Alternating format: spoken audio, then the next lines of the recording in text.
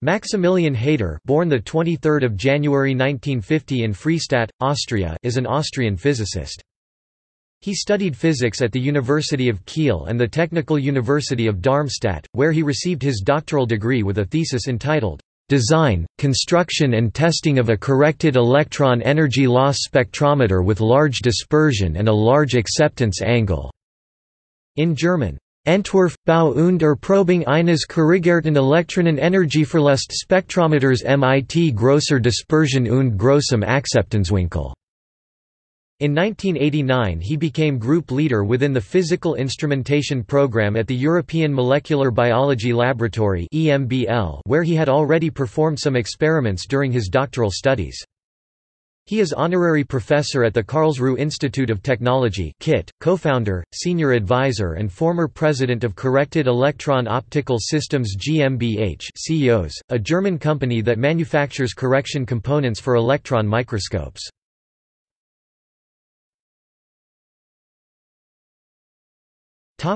Honors He won the 2011 Wolf Prize in Physics, along with Harald Rose and Knut Urban, for his contributions to electron microscopy, specifically for the development of a device to correct electron optical aberration using magnetic multipole lenses. Their work allowed electron microscopes to achieve a resolution of about 50 pm, comparable to the radius of the smallest atom. The three started working together in 1992.